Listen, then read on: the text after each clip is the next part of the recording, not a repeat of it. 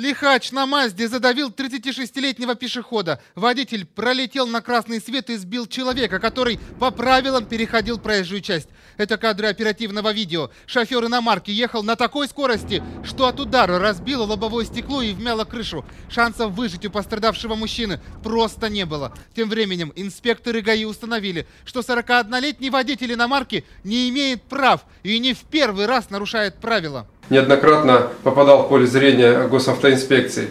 Так, э, на протяжении своего э, стажа он шесть раз привлекался по статье 12.26 Кодекса административных правонарушений. Это отказ от метасвидетельствования. И был лишен права управления. За смертельное ДТП парню может грозить уголовная ответственность.